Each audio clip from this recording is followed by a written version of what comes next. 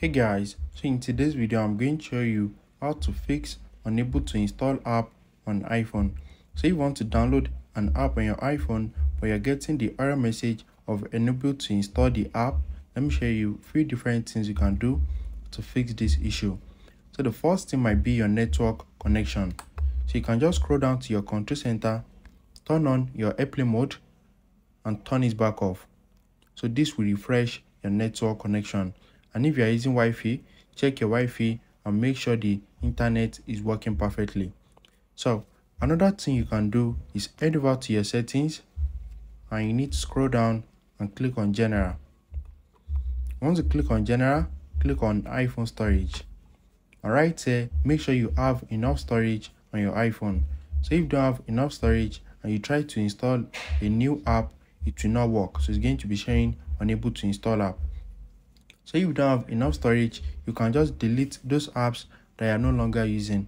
And you can also delete photos and videos on your iPhone to free up some space.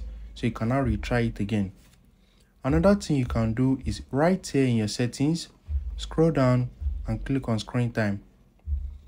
Once you click on it, scroll down again and click on content and privacy restriction. Under content and privacy restriction, make sure it is not turned on. So if it is turned on, there might be a restriction that is not allowing you to download or install new apps. Just turn it off and retry it again. So another thing you can do to fix this issue is make sure there's no VPN enabled on your iPhone. So you can just open your settings, scroll down to general. Under general, scroll down and click on VPN and device management.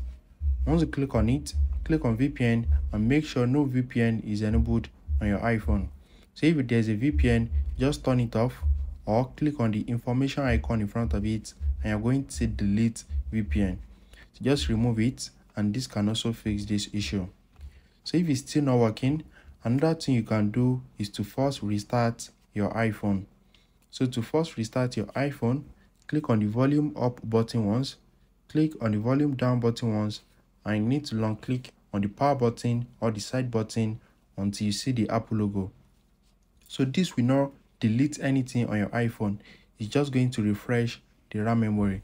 So volume up button once, volume down button once, and long click on the power button until you see the Apple logo. Once you see the Apple logo, your phone will now restart. So if you found this video helpful, smash the like button and subscribe.